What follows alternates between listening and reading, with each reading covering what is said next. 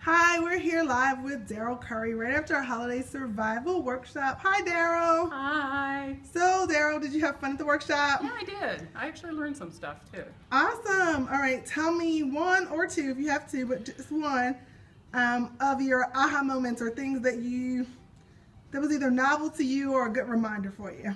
Well, I learned better how to do the 10 minute workouts, Oh, awesome. so that's a good thing. And then I like the bit about um, changing the attitude, and I can't remember what you called it. The abundance mindset. Yes, yes, I like that. And then I like the other bit about how um, not expecting people to do things that they're really not going to ever do. Yeah. yep. So, Awesome. so that, those were good things. Cool. Well, thank you so much for joining us, and we will see you inside of the challenge. Okay, thanks.